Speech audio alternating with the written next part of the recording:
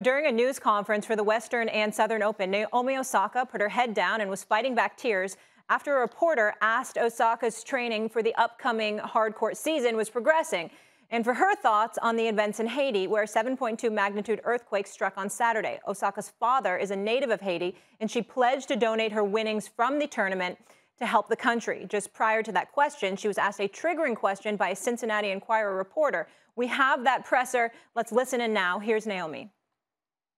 It's Paul Daugherty from the Cincinnati Enquirer. Let's follow up on that last question. Um, you're, you're, not crazy about dealing with, with, with us, especially in this format. Yet you have a lot of outside interests that are, that are served by having a media platform. I guess my question is, how do you balance the two? And, and also, do you have anything you'd like to share with us about what you did say to Simone Biles? Um, when you say I'm not crazy about dealing with you guys, what does that refer to? Well, you've said you, you don't especially like the press conference format. And yet that seems to be the, the obviously the most widely used means of communicating to the media and through the media to the public. Hmm, that's interesting. Um I would say the occasion, like when to do the press conference is what I feel is the most difficult. But hmm.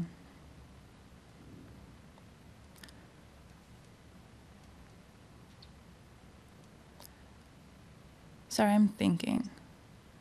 Um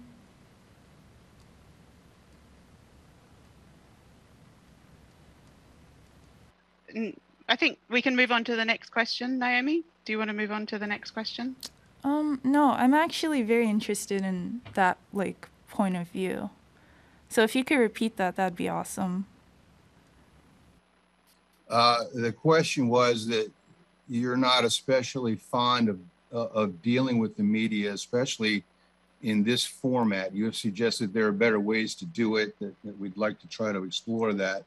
Uh, my, my question, I guess, was you also have uh, outside interests beyond tennis that, that are served by having uh, the, the platform that the media presents to you. My, uh, my question is, how, how are you able, how do you think you might be able to best balance the two? Um, I mean, for me, I feel like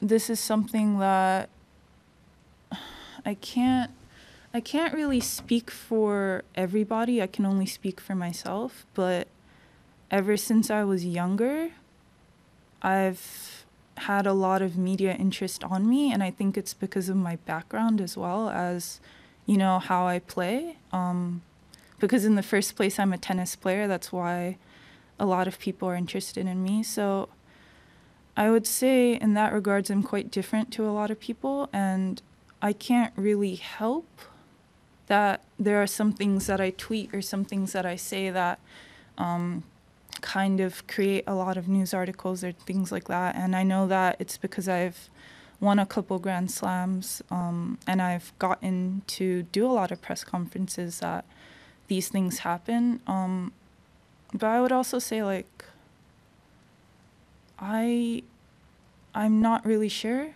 how to balance it too. Like I'm figuring it out at the same time as you are, I would say. Thank okay. You. Thank you, Paul. We've got we're going to do four more questions or four more journalists. We're going to go Courtney, Jeff, Stewart, and then Ben Rothenberg. So Courtney, please go ahead and state your name and publication, please. Thank you. Yeah. Uh, Courtney Nguyen, WTA Insider. Uh, hello, Naomi hopefully it's okay if I ask a couple of tennis questions. Um, the first one is just uh, uh, how the training has been and how your preparation has been for the for the summer hard court swing. And the second one is just related to your tweet over the weekend, uh, related to what's going on in Haiti, um, and uh, and yeah, um, just what your reaction is to the news there. Thank you. Um. Sorry. No, you're super good.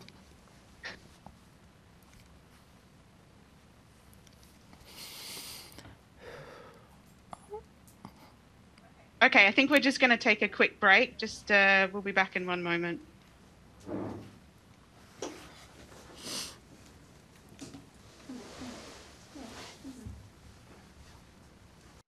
Osaka's agent was quick to stand up for his client, issuing a statement through a freelance reporter for the New York Times. The bully at the Cincinnati Enquirer is the epitome of why player media relations are so fraught right now. Everyone on that Zoom will agree that his tone was all wrong and his sole purpose was to intimidate. Really appalling behavior. And this insinuation that Naomi owes her off court success to the media is a myth. Don't be so self indulgent.